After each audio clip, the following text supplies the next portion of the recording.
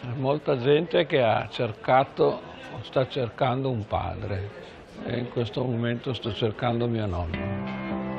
È ancora più complicato.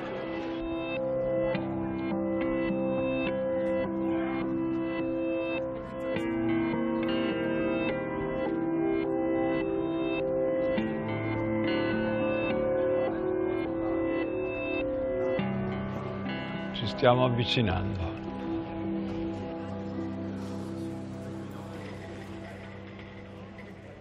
Ecco qua.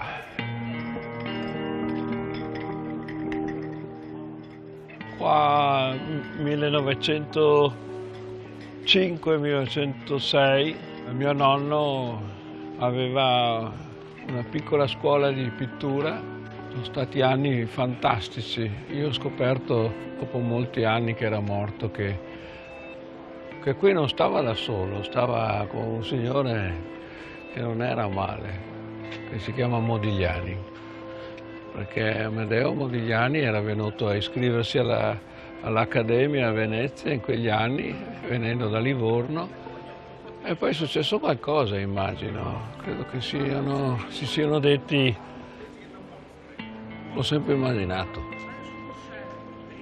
andiamo via, è morta, è finito il classicismo, dobbiamo andare da qualche altra parte.